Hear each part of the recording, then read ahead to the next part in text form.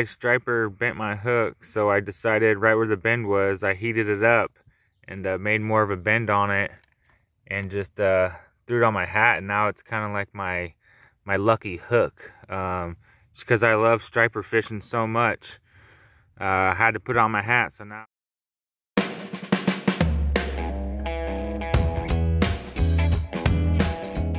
Record right there, boys. That's a PB right there.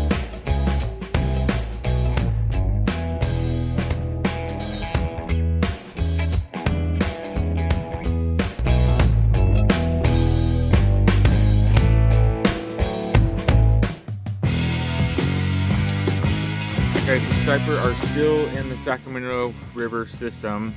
Um, they're running a little later this year than last year is because um, the water levels. Last year we had super, super low water levels. Uh, that's what destroyed the salmon population.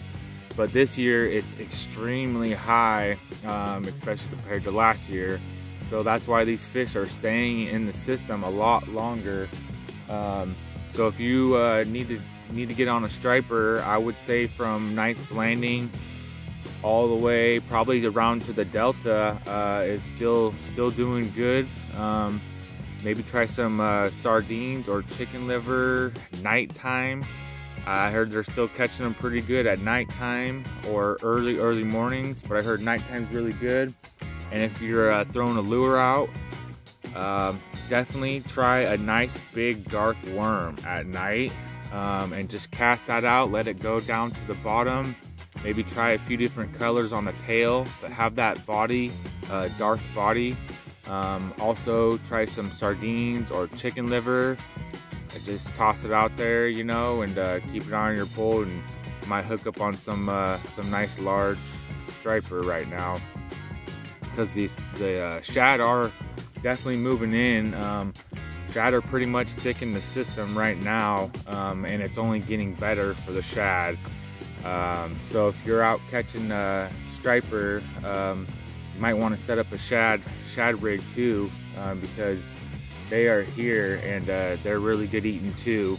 Um, one way to, to not to get by the bones on the shad is you could poach it, which means just boil it really slow and uh, supposedly I've never tried it but supposedly that dissolves the bones. Um, so if anybody's tried that uh, let me know and let me know if it actually dissolves all the bones. Or you could uh, try to smoke it and uh, that's what I've heard that's really really good too is uh, smoking it just like salmon or, or trout. Um, so you kind of cook it similar, similar to that Alright guys, stripers, throw your nice big swim baits out. Um, you can throw some jerk baits. Uh, always just be careful when you're throwing jerk baits for snags and stuff with all them treble hooks. Uh, that's why I really recommend throwing the worm out with like a Texas style rig on there.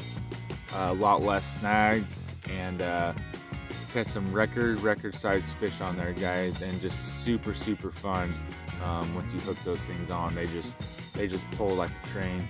All right, the water conditions on the Sacramento River, uh, it's definitely dropping like crazy. Um, it's it's clearing up, not not very much, very very slowly, and the water temperature is rising very slow. So that's another reason why these fish are staying in the system longer. The water's not uh, warming up as fast as it normally does. Um, so that's good for us out there fishing. Uh, just get out there as much as you can. Um, if you're not catching them on lures or anything like that, try some, try any kind of baits. Try all different colors of lures. Just, just keep trying different things um, if you're not having any luck. But good luck to you guys out there. And out, the water is a little, little dirty for this time of year. Um, it is starting to clear up, and the water is dropping um, pretty good they stopped letting so much water out of the dams. Um, so that's why it's dropping so much and the temperature is starting to rise.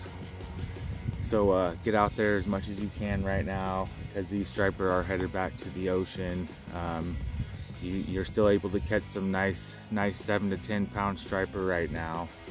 Um, and as for the shad, the shad are coming in as the striper going out. I mean, you're probably one to five pounds um, on the shad you know, five being the biggest and one being the smaller. And uh, they're coming in thick right now, really, really thick. So if you like catching shad, get out there and go get them.